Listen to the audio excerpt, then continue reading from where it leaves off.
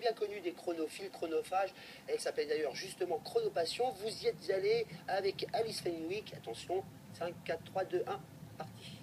Rue Saint-Honoré, une qui ne paie pas de mine. Pourtant, Chronopassion, c'est l'une des 15 adresses horlogères les plus réputées au monde. À l'intérieur, une trentaine de marques, seulement uniquement de la haute horlogerie.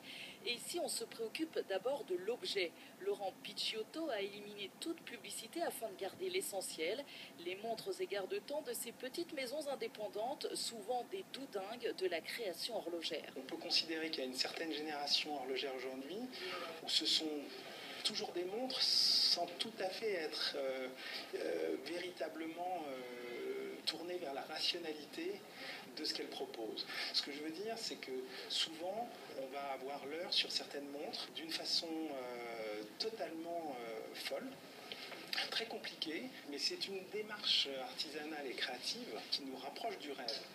Donc, depuis les années 2000, on a eu une explosion de cette audace. Il y a des, il y a des marques où, on peut presque considérer qu'elles ont basculé parfois presque dans l'art contemporain. On, a vu ces dernières années des, des, maisons qui ont proposé des montres qui n'indiquaient pas l'heure. Sans aller jusque-là, quelques-uns ont rendu la lecture de l'heure poétique. Donc ça, c'est Frédéric Jouvenot. C'est une toute petite euh, entité. Il a dû faire euh, un peu moins de 25 montres en 3 ans.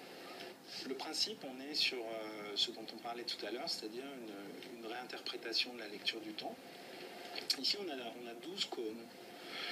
Et ces 12 cônes, en fait, en fonction de, l'heure qui passe, vont être soit noirs, soit or. On va lire donc les heures ici. Si je compte 1, 2, 3, 4, 5 cônes, il est 5 heures. Au centre, j'ai les minutes. Ici, il est 5h00.